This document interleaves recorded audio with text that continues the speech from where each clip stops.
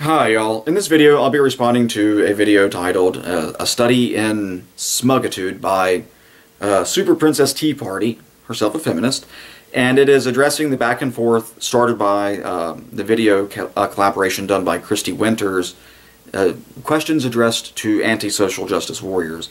And this particular feminist is taking issue with the smug tone of the Kristi Winters group.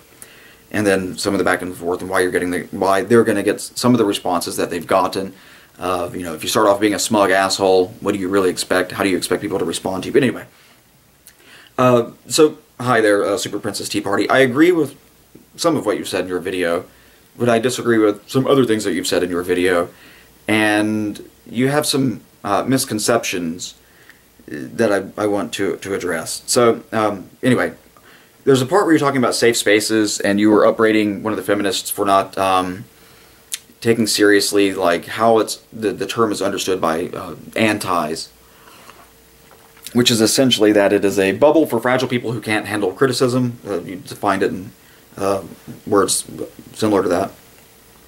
And then you're explaining that safe spaces can just you know they they can be a way for people to reach out and get the help when they need it and that most people would be fine with that. Um, and I, I, agree most people are fine with having a space where you can go to decompress.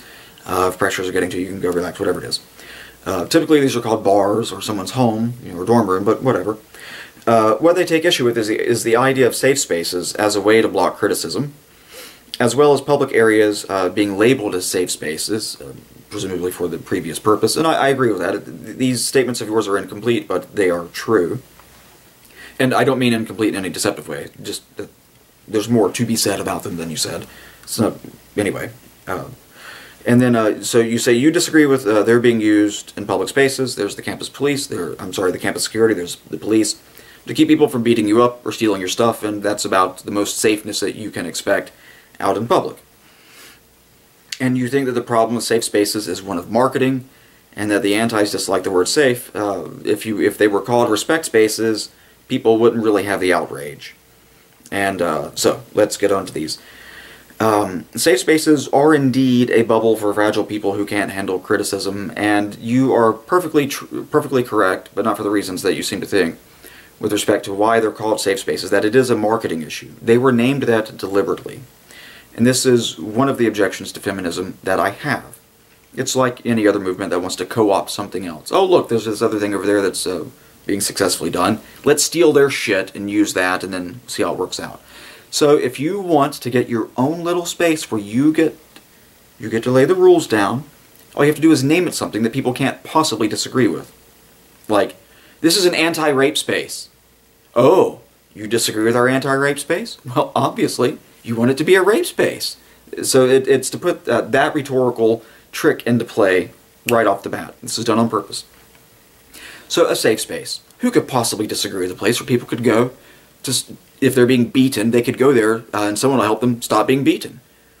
Who could disagree? Only, only the haters in the world. Clearly, the only people who could disagree are the ones who want to do the beating. They're the abusers, the bullies, the harassers, the rapists. Those are the people who, uh, who, those are the only people who could possibly disagree with our safe space. The problem is, the people aren't in any danger to start off with. So it has nothing whatever to do with that. That's just the rhetorical shuck and jive. It means it's a place where people can't go to criticize us, where where people need to, to, to remember that they're in a space where they need to walk on very, very delicate eggshells. I mean, these eggshells are very delicate. You need to be very, very careful on what you say. And this, this is a part of the way of protecting those of the body, those of the ideology from harsh words and bad words and rude words that might cause them some cognitive dissonance. You know, the threat of people disagreeing with them. That is the danger, as with uh, as, well, as you'd expect from an ideology. There used to be these things called McGruff houses, and uh, they were safe spaces, not so named, but that's what that's their function. Uh, that's what their function was, and it was for children. Everywhere you saw one of these little McGruff dogs in a window, um, the person had been back a background investigation, a complete background investigation had been done by law enforcement to include interviews with neighbors in previous places. I mean, they really did a thorough background investigation on these people, uh, so that way children would know that if they're in any danger, or they think they're in any danger, if they misperceive a situation and they're wrong, it's better to run there and get help than than you know, not. If they get lost, If they're separated from their parents and they can't find them, which is just another way to say they get lost. If they fall down and get hurt, one of your friends falls down and get, gets hurt, you can run to these. One of your kids is, one of your friends is kidnapped, you can run to one of these. You, you know, they have a list of phone numbers. You go there. There are people who have promised to help protect you from the instant harm and to summon the appropriate aid that you will require, whether it be medical, police, whatever it is.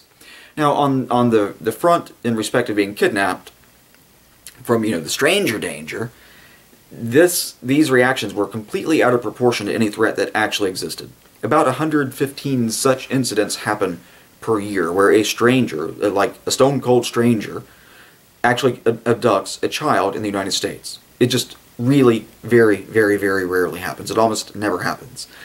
Um, on the other hand, with a lost child or an injured child or uh, you know any of these other things, more than 2,000 children go missing every day in the United States. Every single day in the United States, more than 2,000 children will go missing. Most of them are found quite quickly. They've just wandered off. They've gotten lost. There's been a report generated. 30 years ago, 40 years ago, they wouldn't. Uh, law enforcement wouldn't address these cases until the person had been gone for some number of days. One of the problems with that is that law enforcement simultaneously knew that um, if the person had in fact been kidnapped and they in fact were not already looking for them, most children who are kidnapped are killed if they're if they're going to be killed. They're dead within the first eight hours. Uh, like about half of them, first eight hours, and uh, most of them within the first 24 hours. So that was really just a way of not having to worry about that inconvenient search party because if we wait long enough, the corpses will turn up or the living child will, you know, be found somewhere and return home. So we don't have to waste resources on dealing with the, this kind of thing. That's one of the background things that just is lurking in law enforcement. There was a hue and cry, properly so. Law enforcement were not investing resources into addressing these cases. That had some consequences, many of which were good, some of which were poorly, uh, poorly conceived, like the stranger danger tapes that were, were done all over the place. Stranger, strangers were not the danger that was at issue. It was uh, pissed off parents. It was disgruntled neighbors. It was sexual predators who just happened to live next door to you and had managed to uh, you know get get in your good graces and your child trusted them and you know, things of that nature. So on the stranger part, complete the fear is completely unjustified. It's completely out of proportion. It's it's hysterical. That is the same relationship that women have, or feminists I should say, have to rape. Their fear of rape is wholly out of proportion, wildly out of proportion to the actual threat that they face. It is hysterical. This is one of the reasons why people like me object to safe spaces. They're not respect space. I mean, that's the, the function of it. It is. Well, it's not just respect. It's la la la. Our space. You can't talk. Spaces. Um, but it's in the guise of we are in danger. That is what it means to say that this place is safe. That there is a physical threat when there isn't. That's why these people are emotional cripples. Emotional basket cases. What was it you said? Uh, perceived to be uh, a bubble for fragile people who can't handle criticism there's something uh, we you know they, feminists love to talk about rape culture. God, do they love to talk about rape culture? I mean, just they like to talk about rape all day long. If, if that's all they could ever talk about, it seems like that's all they'd ever talk about: rape, rape, rape, rape. There's something called the gender fear paradox, which is actually is not a paradox at all, and it is that uh, women's reaction to fear is out of proportion to the actual threats that they face vis-a-vis how men react to it. And you betrayed uh, this particular uh, behavior later in your video, and I'll get to it now. You say, oh, as a woman, safety has a positive connotation. You know, walking alone at night, uh, safety is what you're trying to achieve. But for people who don't have to worry about their safety, aka men, the idea can be kind. Uh, the idea can kind of become a synonym for convention, following the rules, whatever, whatever, whatever. No, uh, that's not true. It's that whenever there is a claim that I'm in danger, the solution offered up by women is not typically, let me see what I can do to deal with the matter. It's, Men, yes, men, yes, all of you, please gather round. You have more work to do. Why are you just sitting around wasting your time attending to, I don't know, a television program, going out for a beer with your buddy, whatever it is, doing your own study so you can pass your exam? Why are you wasting your time seeing to your issues in life? There are women who are demanding safety. Get off your asses and go do something. This is unlike, for example, the uh, LGBT uh, people have. Um, uh, there's a, well, they have the Pink Panthers, a group that goes out various times of the year when they're they think, oh, we might have some gay bashings that are going to happen, so we need to be out in force. Uh, for whatever reasons, they've you know, decided on whatever days they go out. Fine, whatever, knock yourself out. There are ancillary benefits to other people because they're not just going to walk by as you know some person getting his ass kicked and go, wait, are you gay? No, all right, sorry, sorry to interrupt. Have a good day. We're only looking for gay people getting bashed. You know, they're going to intervene. They're going to call the cops. But then there's another group, which is even better than the Pink Panthers. They're called the Pink Pistols, and as you might imagine, uh, they carry guns. so there there are benefits there that accrue to other people too even though, uh, like in, in Seattle and Tacoma, the incidents of gay bashings are very low. They do happen from time to time. You'll get a couple per year, uh, but they just almost never happen. So the what they're doing there is a reaction that is not actually based on any threat faced. It is really just erring on the side of caution, over being overly cautious. Uh, better to be safe than sorry, kind of thing. Which whatever. But they this is and this is the crucial distinction. They perceive a problem, a threat. They handle it. This is not what feminists do. This is not what women typically do. Um, and I hate speaking in generalities because there are exceptions all over the place. Not all men are brave. Not all not all women are uh, over uh, over concerned about threats that they don't face. They can actually reason this shit out and go, oh well, you know, if I do have like some weird you know hip check emotion thing going on here, that's my problem to solve, not everybody else's, because it is vastly out of proportion to the threat. And indeed, there's a video somewhere on YouTube of a mom um, who is, uh, she does a lot of advocacy work in child abduction cases and protecting kids and whatnot. And she is staunchly opposed to all of the resources being wasted on stranger danger. Because those resources could actually be out there right now finding missing children, and they aren't being deployed to find missing children because they're out worried about the boogeyman. This woman's child was abducted and killed by a stranger, but nevertheless, she's able to look at the data and go, the reaction to the actual threats we face is wholly emotional. It is wholly irrational, and it is leaving children to be killed and raped. And for those people who think, oh, you, I'm sure we're doing things, there's a list on a server in Washington, D.C. that has 600,000 names on it. 600,000 names on it. All of them are children who are missing. No one is looking for them.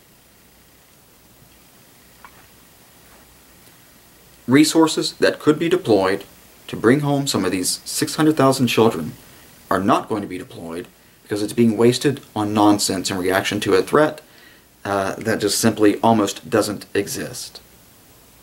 And this woman is quite rightly uh, concerned about that. She has scaled her, her concern for the issue uh, in proportion to the actual threats faced by the, by the, in this case, children. That is intelligent. It is rational. It is not an emotional overreaction, which is the entire discussion about rape that feminists are having. Which is, is why, whenever a subject comes up, you have to associate any dissenting opinion, anything you don't like, with violence, with rape.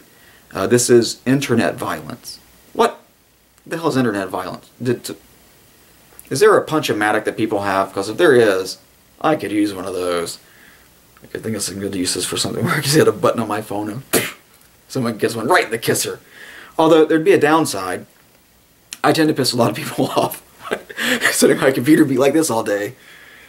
Kind of like when I'm at the truck stop bathroom. Anyway, now there used to be, well, still is, something called the Safe Zone Project. When I went back to college, um, I saw these stickers and I was like, what are these all about? And I was like, Safe Zone Project. Oh, that sounds interesting. So it was to protect LGBTQ people, and I'm like, oh I'm I'm one of the, the LGBTQ element, you know, P Z zebra whatever. I'll check this out and see what it's all about. Uh, you know, I work in law enforcement. Maybe I can maybe I can assist. Boy, was this a mistake on my part to go to one of these meetings. It's like going to an AA meeting where people just want to sit around and whine and cry and bemoan the fact that someone somewhere, sometime or other, did something that they don't like and no one was hurt. And I'm like, where's the Am I in the wrong meeting? Where's the safety part? Uh, uh, like I'm, I'm, I'm all for safety, for safe spaces, like the McGruff houses. If you are in fact being, you're being chased, you've fallen down and been hurt, you're lost, whatever, you know, you're bleeding. Well, I guess if you're a woman, that might not. I might need to make a, a further refinement of that proposition. if you're bleeding from somewhere you shouldn't be bleeding from, yeah, go there. But that is not what this is about. So you're right, it is a marketing thing. But the reason that it isn't called a respect space is because if you call it that, you're going to get the well similar result now. Whatever you, you, want respect, you go hide yourself in there and get it all you want. You're not going to get the uh, support that you're going to get if you call it a safe space, because as I mentioned earlier, the only possible people who can disagree with the safe space are the people who want dangerous spaces. You know, the rapists. That's why it's called that. And um, not to be too rude about it, I'll address more of this in your talk in response to your toxic masculinity video. Um, there is never any shortage of feminists, no matter which group they're from, uh, and how much they profess to be interested in men's issues. There is never a shortage of feminists who are willing to go around and femsplain what being a man is like, what men do and don't deal with. Let me just admonish you gently. You don't have the faintest clue what it is like to be a man. I don't have the faintest clue of what it is like to be a woman. Alright, I'll address uh, more of this in more detail and politely there too in a, a separate video on your, uh, in response to your toxic masculinity video. Have a great day, everybody.